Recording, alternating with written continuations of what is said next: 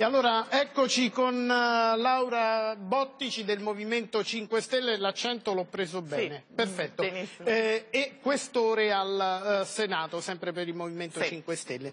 Allora, eh, mi ha detto non la chiamo senatore o senatrice, eh, portavoce diciamo in questo grazie. caso del Movimento 5 Stelle.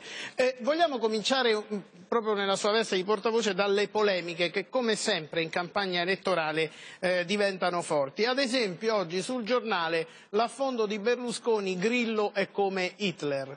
Eh, dobbiamo relativizzare ecco, al periodo elettorale direi, però sì. insomma anche Beppe Grillo ne ha avute di, di forti nei confronti dei suoi eh, avversari politici.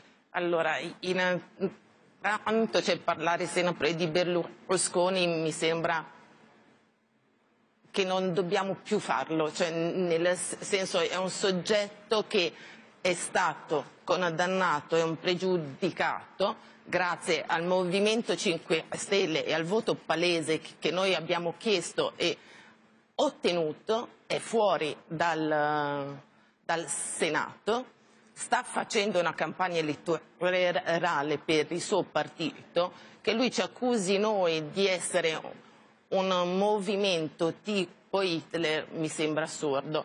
È vero che noi spesso abbiamo dei toni alti, ma è anche vero che i cittadini sono esasperati e noi siamo entrati nelle istituzioni per questo. Cioè siamo esasperati. Ecco, la esasperazione, vediamo l'esasperazione di Beppe Grillo eh, che è stato a Siena eh, e eh, all'Assemblea insomma, a vedere le questioni del Monte dei Paschi di Siena. Sentiamo una delle sue dichiarazioni. Perché se lei vince le europei bisogna andare alle elezioni politiche? Ma perché? Perché? Perché non ci sarà più, no, non ci sarà più la maggioranza politica, saremo noi il primo movimento, il primo partito in Italia, andremo lì a dire si scioglie le Camere, si fa un altro presidente e si fanno delle elezioni anticipate. Scusi, ma chi ve la vota la fiducia in aula? Poi il problema sono i numeri. I numeri ce li abbiamo. Ma come, come fate? I numeri ce li avremo. Mi scusi, è un po' come il pugile prima del, del, match che dice vincerò, sono sicuro che vincerò, oppure voi i numeri ce li avete? Allora, noi da quello che vediamo nelle piazze e dai vari incontri che, che noi facciamo, le persone sono con noi. Cioè, il cittadino comune risponde benissimo a una politica diversa. Noi siamo nati nelle piazze nei piccoli comuni in cui abbiamo aperto in qualche modo una discussione sulle istituzioni. Siamo entrati nei comuni, nelle regioni e ora siamo qua a Roma e stiamo aumentando perché eh, il fatto di informare e stimolare quella curiosità nel cittadino di andare a valutare cosa fa il proprio politico fa sì che per, per, il meccanismo che noi abbiamo ci allarghiamo. Io fi, fino a, a, a, qualche anno fa non votavo più. Poi ho incontrato il Movimento 5 Stelle e piano piano ho ricominciato a interessarmi di politica. Noi facciamo politica ogni giorno, quando andiamo a fare la spesa, quando facciamo la raccolta di ferie iniziata. Noi siamo a Roma un po' quella punta dell'iceberg che de deve scardinare uno sistema e ci siamo. Ecco, per esempio, per quanto riguarda le elezioni europee, Repubblica parla oggi di un sondaggio shock del eh, think tank inglese Open Europe, secondo il quale i partiti populisti sono al 30% e voi sareste i populisti italiani un po' insieme alla Lega. Il popolo. Quindi, contenti diciamo di questo 30%? Cui, però dicono, insomma, eh, la maggioranza pro integrazione europea non è in pericolo.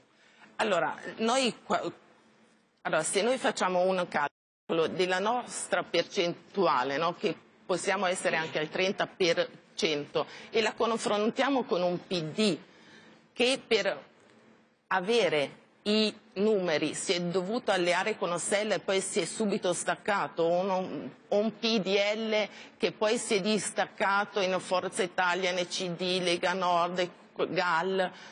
Noi eh, sì, abbiamo dei fuoriusciti, ma il Movimento 5 Stelle è sempre quello e corre da solo. Senta, c'è una cosa che le vorrei chiedere proprio in qualità di questore del Senato. È vero questo che dice la stampa oggi? L'ultima battaglia del Movimento 5 Stelle è limitare i giornalisti dentro Montecitorio?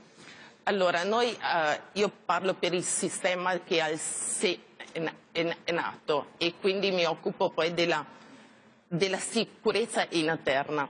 Noi spesso abbiamo delle regole che vanno a disciplinare dove alcuni soggetti e gli ospiti si possono muovere all'interno dei palazzi.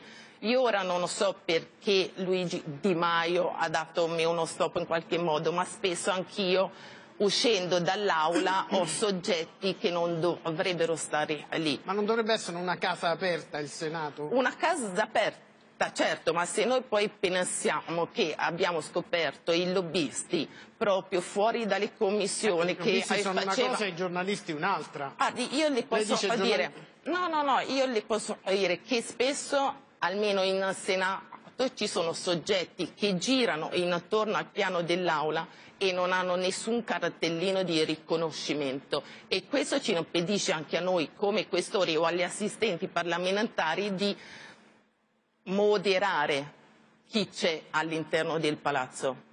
Io per un'ultima battuta rapidissima, lei è questore quindi si occupa anche della disciplina e certo i suoi colleghi sono tra i più indisciplinati, è conflitto di interesse per lei? No, no, non, non, non è che siamo in disciplina inclinati a noi, cioè spesso accade che si alzano i toni, poi che lo faccia il Movimento 5 Stelle spesso è più sui giornali, no? per ogni cosa che noi facciamo, ma i toni si alzano da tutte le parti. Da tutte le parti. Grazie allora a Laura Bottici del Movimento 5 Stelle per essere stata con noi un'altra pagina di